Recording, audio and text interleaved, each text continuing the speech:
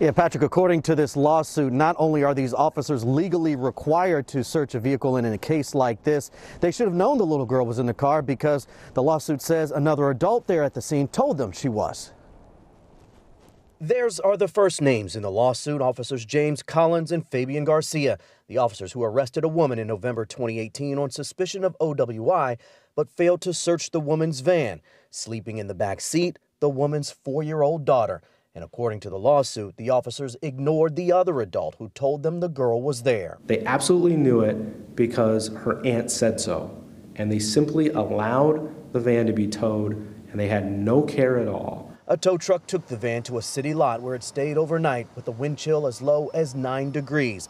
The next morning, an employee at an adjacent lot heard the girl screaming, I want my mommy. If you arrest a driver on suspicion of OWI, you search the car.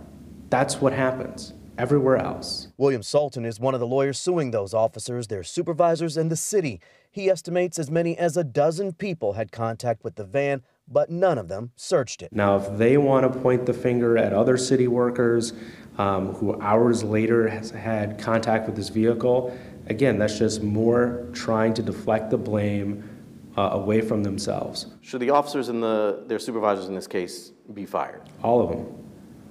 Every single one of them. Absolutely.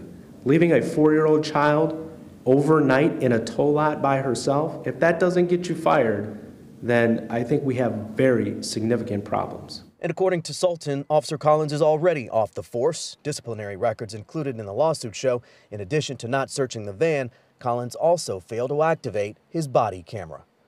And Derek, Officer Collins' name might be familiar because of another high profile case. Yeah, Patrick, James Collins is the same officer who bragged about getting overtime after standing on the ankle of Bucks guard Sterling Brown during that taser takedown arrest just 10 months before the incident with the van. Patrick?